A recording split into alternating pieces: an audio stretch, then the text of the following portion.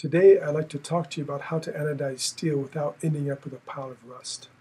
Most of us are familiar with anodized aluminum.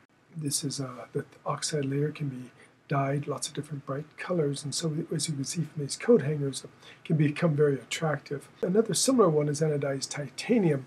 This is uh, the color comes from the thickness of the oxide layer not from artificial dyes. And so this is a spork. Here's some anodized zirconium. And similar to the other above, it's also anodized in an acid bath of voltage. And but the thick, changing the thickness, we can get these different colors. Here's anodized niobium.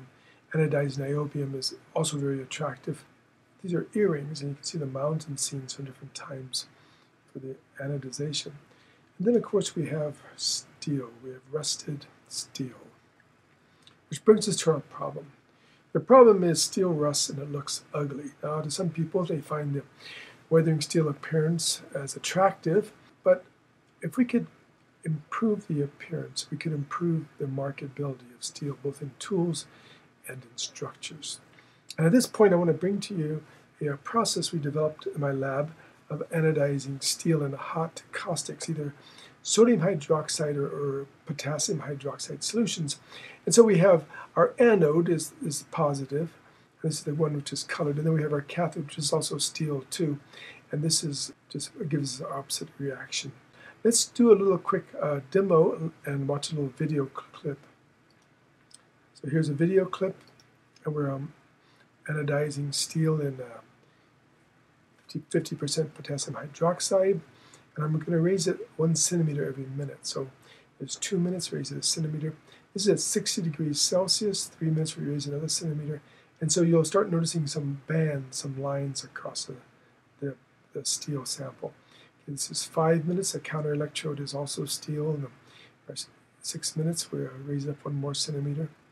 Zoomed in, you can see the colors. The glass is slightly misted, so you can't quite see everything there. Seven minutes. Okay, you can see the bands of colors are starting to develop. We'll turn off the volt, turn off the power supply, take the sample out of the um, potassium hydroxide, and we can see the colors, the bands, um, and everything on the uh, our surface there. So this is our process, very simple, very straightforward process for anodizing steel. So as we can see in this here is that at different temperatures, we can obtain dark by applying different voltages. We can apply a dark coating. Uh, lower temperatures, we get this um, dichroic, the colored oxides. If we go to too low of temperatures or too low of voltages, we, we basically get nothing. Nothing forms there. Well, there's something there, but it's not very protective at all. So we can take this uh, information and we can make our voltage current maps. And so here we have 90 degrees. We have our black oxide forming, the dichroic, the colored oxides forming at slightly lower temperatures, 50 degrees Celsius, and volts between 2 to 2.5 volts versus the counter electrode. And we can see the current density is not too high of current density at all, um, 100 milliamps per centimeter squared.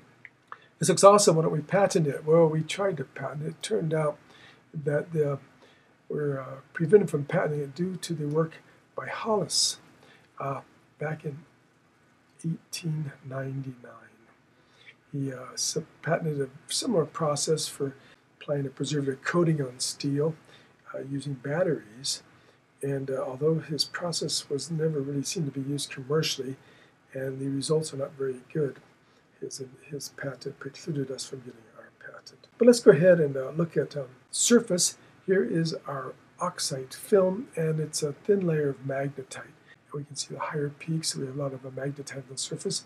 70 degrees C, slightly lower peaks, uh, lower thickness, and uh, 750 degrees down to 30 degrees C, we really don't see very much magnetite forming on the surface at all. Let's look at a SEM image of our, of our surface. Here is the uh, cross section. We can see our oxide film here, uh, the epoxy, and then down here is etched steel. So the oxide film contours the surface of our steel. Very nice. Let's look at a um, top view of that oxide. Here's a very high magnification top view. We can see that the, is that a solid oxide, but it's a porous oxide. You see small pores.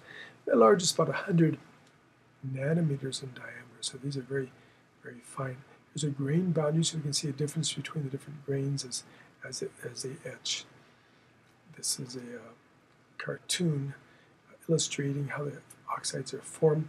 We uh, saw the purple color forming, which is the Fe plus 6, the ferrate kind of hollow structures. Let's see the corrosion resistance in, in um, fresh water. Uh, these samples were immersed in beakers of uh, pure deionized water for four weeks until the water evaporated. They opened the, opened the air and oxygen. Um, as you can see, for 600 grit, is that it just rusted. These were polished steel. Uh, this was the one, 30 degrees C, 2 volts. Not quite, you can almost see something on the surface, but it wasn't a very protective layer. Not very effective, as you can see the rust down there. 50 degrees Celsius, 3 volts. A very protective uh, oxide film was grown, and we see that it uh, was unaffected by the water. Uh, one month in water and no effect. Here's one formed at 90 degrees C, much hotter. Good, good corrosion resistance here. Now we said they were porous, and this is freshwater. How about saltwater resistance? So now if we put the um, samples in salt water, uh, we can also uh, measure the corrosion um, resistance and polarization resistance here. Now this is polished versus anodized, very little change.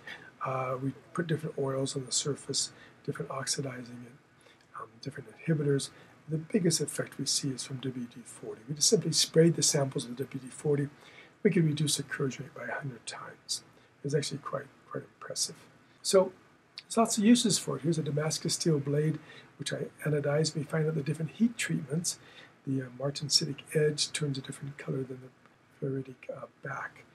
And these Powerline poles, which are just weathering steel, could also be um, anodized instead and provide a very attractive pole to be used.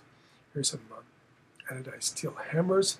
Uh, due to the steel composition, most of the oxides charge different shades uh, of brown or gold. Well, thank you for your time. I hope you enjoyed this talk and I hope you consider this technology.